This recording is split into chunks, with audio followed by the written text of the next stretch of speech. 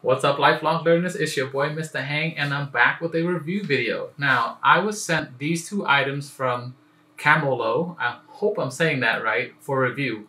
One is a tripod that comes with a bunch of stuff, and then another one is a uh, phone holder that I actually kind of like a lot.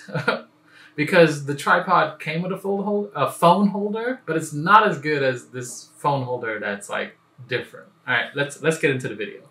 Since 2006, I've been teaching high school kids how to transform their lives through education. So, consider subscribing and join the mission to make the hood all good. Okay, so this is the tripod that was sent to me for review. It's this thing right here. Now, this tripod is actually really tall. So if you look at this, they're comparing it to everything else. 63 inches, that's right, 63 inches tall, which is 5 foot 3 inches tall. And that is actually about, you know, almost my eye level. So let's say you're trying to use it with like a GoPro or something like that right here. It would be nice. And here's the phone holder that's supplied with the, the uh, tripod. And I find this phone holder a little lackluster, but I was also sent this for review. This phone holder right here. And I like this phone holder way better. And links to these things are in the descriptions down below. So this phone holder, you can twist it and it also has two different cold shoe mounts on the side. So let's say you're like, you're like doing vertical video. Now let me switch over to the phone holder real quick. So let's say if you like to do vertical video like this, you can have a slot for your lights and you can also have a slot right here for your microphone, right? And then you have this uh, clip right here that helps you lock and unlock. So I can't pull it out until I unlock, then I can slide out like that. So what that does is it helps the phone be held in place. But my favorite thing is actually not that, is actually this right here. See this? That part right there allows me to angle this. So let's say I'm putting it on my tripod. I mean the tripod. let's say I'm putting it on my camera like this. That means that I can hold a phone right here and I can monitor with a bigger screen, especially if you have a phone with like a really big screen. So that is the better of the two. See, this is the one that came with the tripod. This is the one that was sent with the tripod for review. They are two separate things that you have to buy here. Hence, you can see right here when I switch over to my desktop view.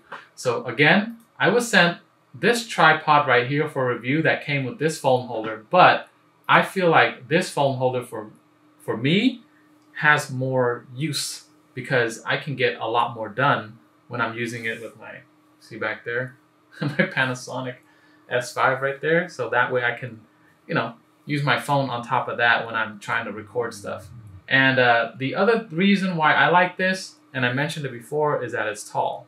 And the reason why it's easy to use is because I use it with my light stand right now. Like I, I, I don't have it in front of you because I'm actually using it to hold my lights. I'll probably throw some B-roll in here for you to see. So yeah, that's what I wanted to make a short video about was the tripod and this phone holder that was sent to me for review. Thank you, Camolo, for, I hope I'm saying that right, for sending me the stuff for review. And I am finding good use for it because I thought I was going to take out the tripod on more like my hikes and stuff like that and like pack it in my backpack and it's super light and I just, you know, go and then I just use my like my GoPro or my DJI Osmo Action or my Action 2. They're all up there. have my little cameras are up there, right? You know, because I like to go on a lot of hikes and stuff with my family or my friends. And so I thought that I would find more use for the tripod doing those things, but in reality, I find the tripod more useful in my studio, just holding up my light that's helping me get this like nice bounce light off of my ceiling down onto my top shot where it doesn't look so, you know, harsh with the shadows and stuff. I have nice shadows with my top shot. So yeah, interestingly, I didn't find a use for what I thought I was going to use it for, but I use it for something else instead. Oh, there's one more thing that I got to mention. And that thing is that I love this twist, like to lock in your camera head. It, it's so much better than like these kinds of heads because these kinds of head require you to spin the camera around instead of just twisting like this and then it'll lock your camera. So that's the reason why I think that this tripod head is so much better and so much easier to work with. Alright, so again, link is in the description down below. If you found this video useful, give it a thumbs up. If you have any questions, leave it in the comments down below. And I need to go to sleep because tomorrow I actually have a hike with my family. And so I'm going to end this video here. Thank you so much for watching.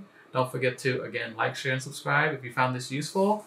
And um, we're going to say goodbye. So get your hands ready. For those of you who are new, just get your hands ready like this and just follow along. And for those of you who are returning, y'all know what's up.